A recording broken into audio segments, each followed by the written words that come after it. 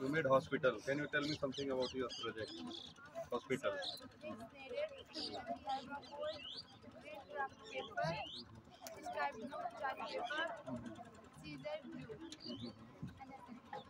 You made very good hospital like this one. Huh? You have given the symbol of the uh, Hospital. huh? Yes, sir. That's very good. Uh, this uh, hospital should look like this. Do you have anything extra to say about this hospital? You want to say something else? Okay, tell me. What are the importance of hospitals? You also included in this one? No. Okay.